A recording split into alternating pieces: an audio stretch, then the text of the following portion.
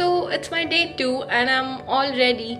Yesterday I just finished the Wagah border retreat and it was really amazing and I just got back to my hotel and chilled a bit. I'm gonna be heading to the Golden Temple today. It's really raining and it's pretty cold in Amritsar currently so I'm gonna go head to the Golden Temple right now and let's hope that it's not gonna be raining right now there.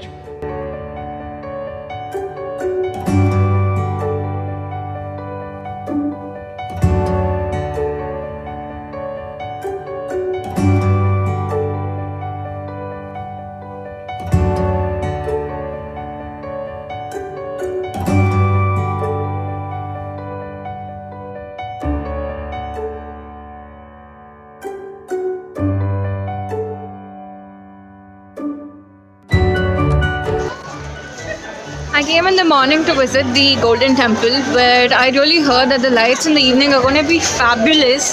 So I'm back here to visit the Golden Temple and to see its amazing lights. And the street here is so beautiful, and I must say it's very cold right now.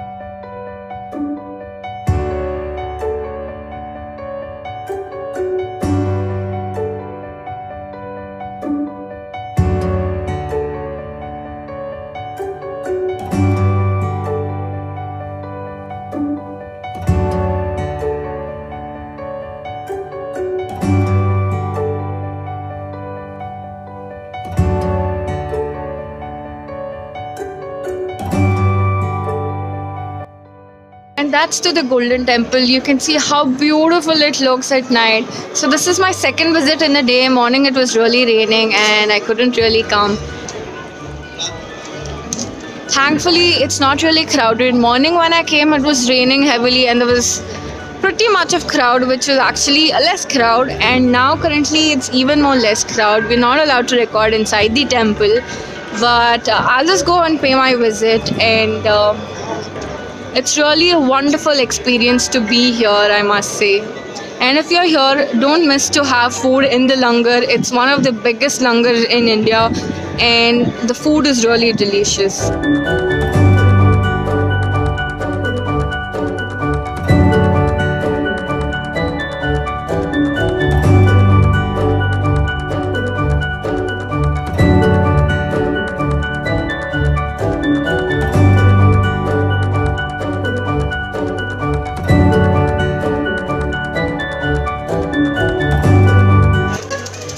Extra cold weather, they're actually selling kulfis and ice creams, and people are actually eating it.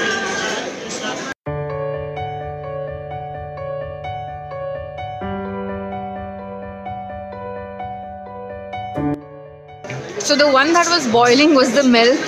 Here I must tell you the milk texture is so thick and it's really tasty. I just had a glass of lassi now and I feel really full.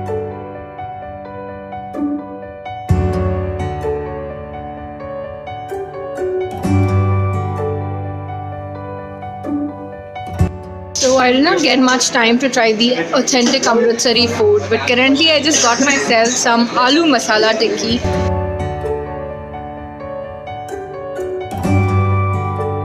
So the aloo masala tikki was so good. Uh, the aloo tikki was so crispy, and um, it was with the spicy chutney and the sweet chutney, and some curd over it, and some scraped uh, cabbages. So it tasted really good. It was a combination of khatta meeta and the crispy aloo tikki. To my hotel from the Golden Temple, I also bought some um, printed chunnis and some juttis, and they're really good. And it wasn't really that expensive, it was pretty uh, affordable. And uh, that's it for my Amritsar video. I'm gonna end this vlog here. I'm gonna try much of the Amritsar cuisine, but if you're in Amritsar, then do not miss a chance to try the Amritsari food. It's really amazing here. So if you think this video was good enough, then give it a like button and do subscribe to my channel and leave all your comments below. Bye bye. I'll see you in my next video.